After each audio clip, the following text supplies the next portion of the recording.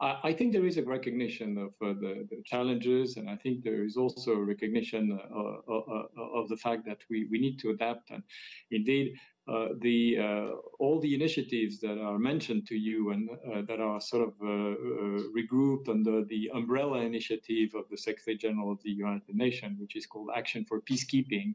Um, all, all, these initiatives are widely supported by our member states. Um, now, I believe that uh, it is also important to look at the fact that uh, even if uh, many of, of, our peacekeeping operations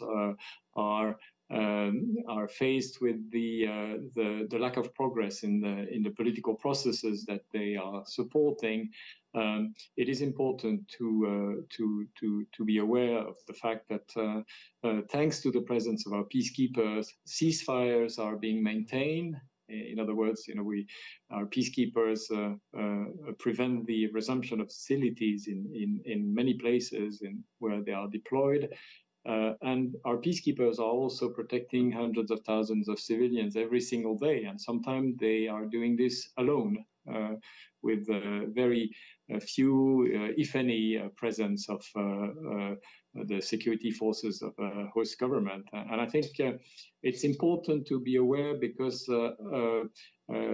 there's um, it, is always important to to to think of okay what would happen if these peace of operations were not there you know what, what what would be the consequences and i believe that uh,